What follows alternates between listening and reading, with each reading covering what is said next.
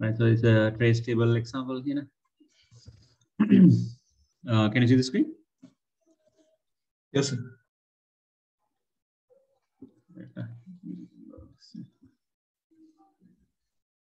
Yeah. Uh, Vimal is trying to uh, trying different ways to design uh, the process of entering data into an array. So analyze the question well, uh, underline the important parts. He declares the variable uh, and uh, called array size. As a variable called array size and set it to three. Then he writes the following pseudocode: element equals one, while element is less than array size, which is three, right? Input uh, number element, right? So number one. Initially, it will be number one. Uh, so if you think of the array like this, right? Now, since it's a pseudocode, we can start the index with one, right? Two, three. Uh, so element number one means this one. And then uh, you input the number. So that means you are inputting a number into this one, right? And then you go on incrementing the element, right? So do a bit of analysis like that before you start. So following trace table uh, with the effect of entering these three numbers. Okay. So array size is three at the beginning. Element is one.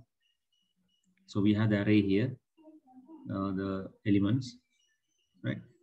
And uh, so we come here, element is one, one is less than three, that is true. So you put true there. Now in the exam, of course, if you try to, uh, you know, write like this, there you might run out of uh, space, but um, I think it's better to do it uh, with the pencil first so that we can check whether the space is enough, right? Mm, otherwise, you will have to add more rows there, right? Mm, so if it is true, input number element. So first number is 24. So 24 goes, uh, this is true. Then here we input. So 24 goes right here to the first element. And the element is incremented by one. So it becomes two here, right? If these are not changing, you can just leave it like this. You can uh, just put a dash if you want, right? Or you can rewrite the number if they're not changing. Uh, right. So becomes two, then goes back. Two is less than three, which is uh, true again. Since they have written in different lines, we'll try that. True. Okay, if it is true, you read the next number and put it to the second uh, slot, which is uh, 57 and uh, then here it becomes uh, 3 so the element becomes uh, 3 right? And then it goes and checks whether 3 is less than 3 true or false? 3 is less than 3 true or false? False.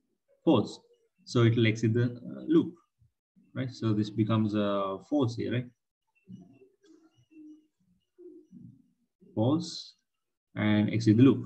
So you can see uh, the last number is not added to uh, array. Okay, so let me share the answer.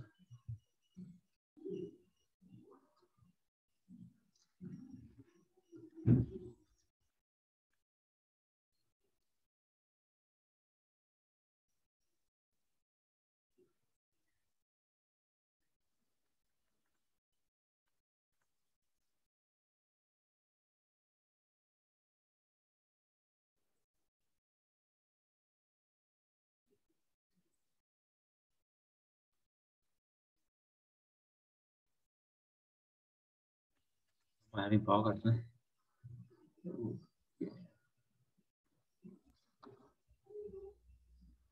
Uh, there appears to be an error in the above pseudocode. State the type of error. They want the type of error. So what is the type of error?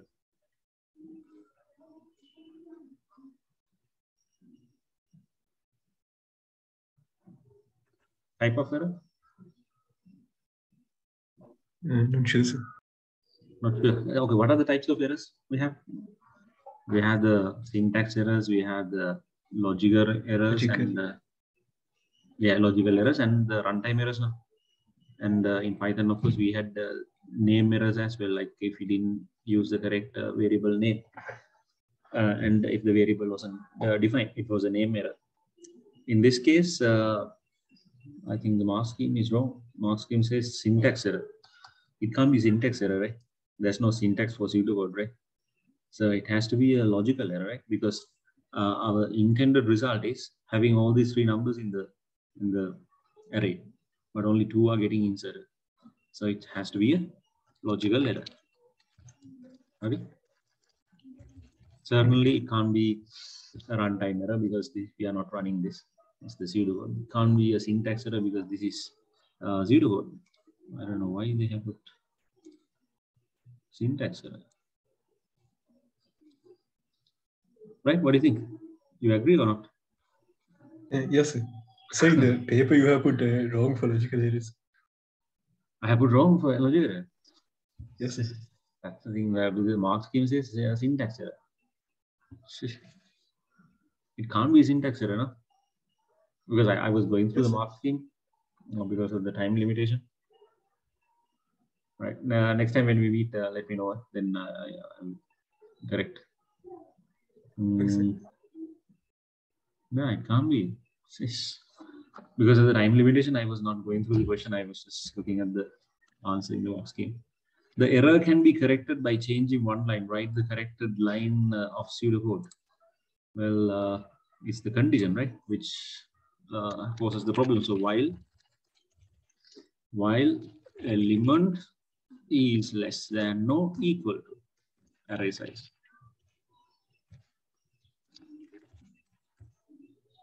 Right? That line, this whole line, right? Vimal is not convinced that while loop was the best choice for this pseudocode. Instead, he considers uh, using a repeat until loop. Rewrite the corrected pseudocode using the repeat until loop. Right? Did you try that?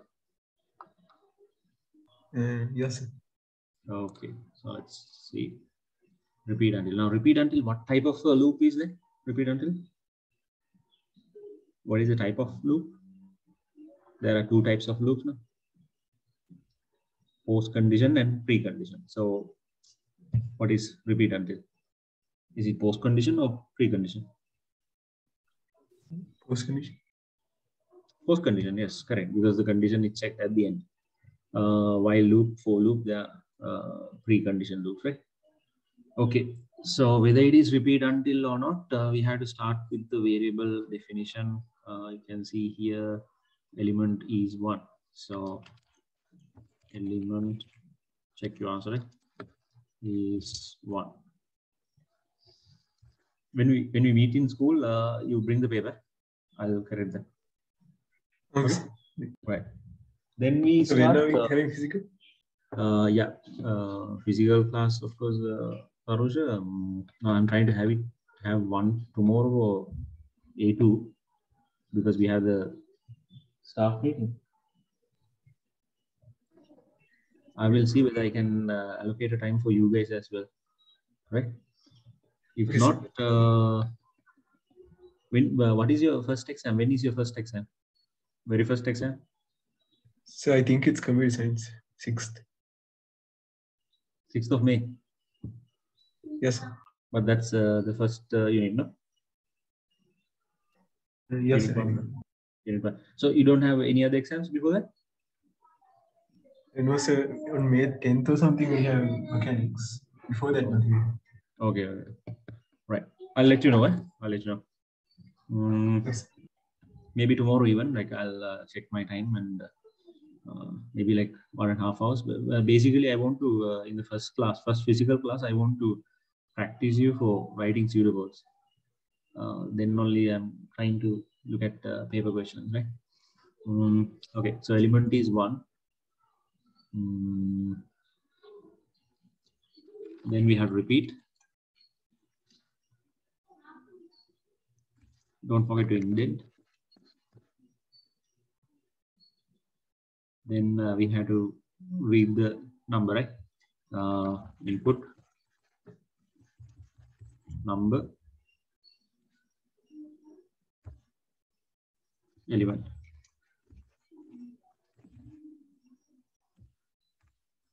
redo these uh, questions, okay? I will send you more papers. Mm, right. And then uh, we need to do the increment.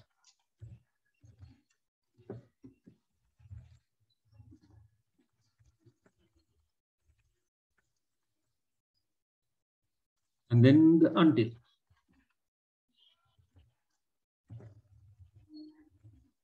Element.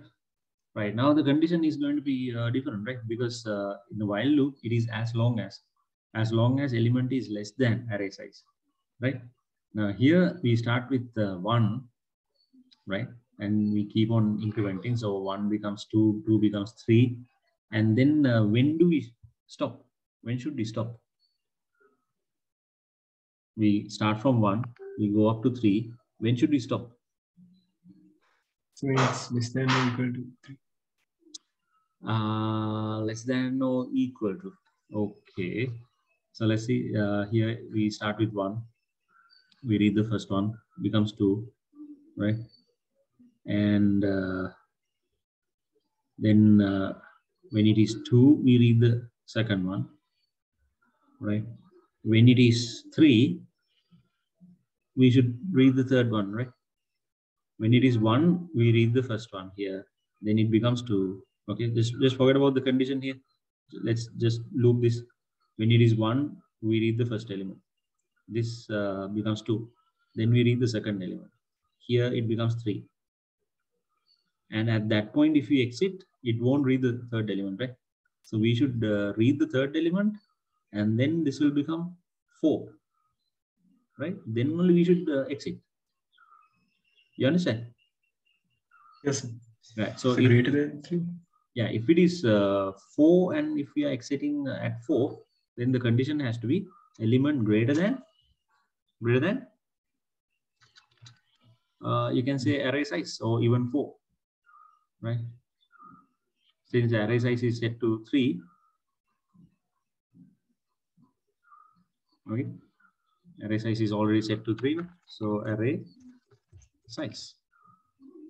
Array size is three uh, when element is greater than array size, uh, it becomes four, right? Now, if you do a quick uh, dry run to see whether this is logically correct, uh, element, then uh, number, then uh, element greater than array size right? So element is one. We read the first number. Mm, what was the first number? Okay, 24. And uh, this is array uh, element is one, array size is three. This is uh, false, right? We go back. Now here we read, here we read, sorry, right? This is checked at the end. So element is one, we read the first number, then we increase uh, the element to two, and then only we check uh, this is false. Go back and read the second number, which is uh, 57, right? And here it increases to three, right? Then it checks whether three is greater than uh, three. Uh, it is not, right? And then uh, we go and read the third number, which is 12 and then here it becomes 4 4 is greater than uh, 3 that is true and it exits fine. It works. Okay. Understand? Yes, sir. right. Uh okay Tarusha, uh you guys came late. No that's the problem. I was uh, Yes, waiting one hour. Mm, i have another class at 10 right so I will have another session, right? I'll be having quick sessions, quick online sessions and uh, physical sessions also. So make sure that you attend all these, right? Uh, even though Okay, even though you might not really like the online, but can't help because of these problems right now, right? Um, so make sure that you get the best use.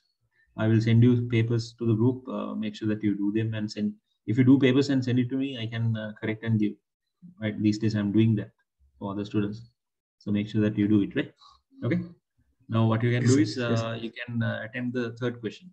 I have shared the paper now, so do the third question on your own uh, and send it to me. Then I can correct and give right before the next class. Okay.